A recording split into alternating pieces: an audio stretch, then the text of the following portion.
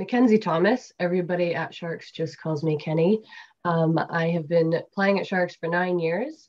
Um, I work for an online invigilation company and I'm Canadian.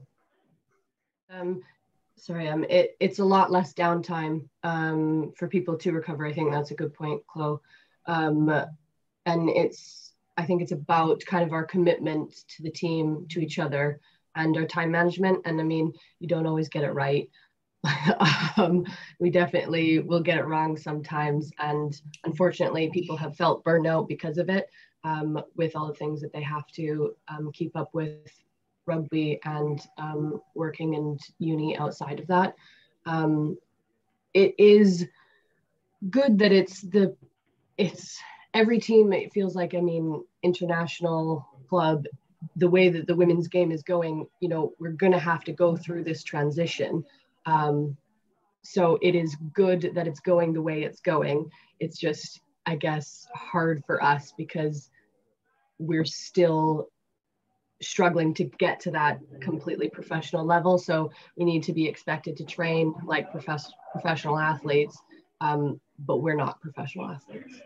Um, so we're just waiting for that next step for us to progress forward so that we can train like professional athletes and be professional athletes. Yeah, like you try. I mean, I got the opportunity to travel across the world to play for a team, and I think that's one thing that's great about the rugby community is that you can do that and you can kind of fall into a bunch of like like-minded people that want to, you know, play the sport that we all love. Um, but I just do feel so lucky to have found um, kind of like a family here. So like obviously I'm away from my friends, my family at home, but I have such a great support network here of people and like these amazing people that I get to see, um, you know, Tuesday, Thursday, Saturday. Um, but yeah, I've made friends for life that have been older sharks that I still see and people that are still in the playing squad. Um, so I feel very lucky that there's yeah amazing group. Um, like obviously the partner, the official partnership came you know, in the season that was our COVID season. Um, so the biggest changes that we saw was mostly facility based. Um, so that we train there. They've got excellent gym facilities for us.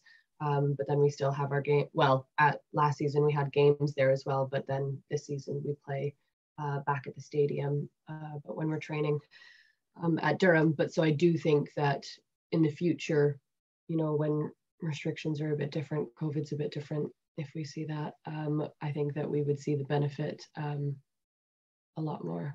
Like yeah. very much an integral part of who I am. Um, obviously, I've, I've been here for a long time and I've met some amazing women um, and off, like on the field, amazing, but like inspiring off the field as well.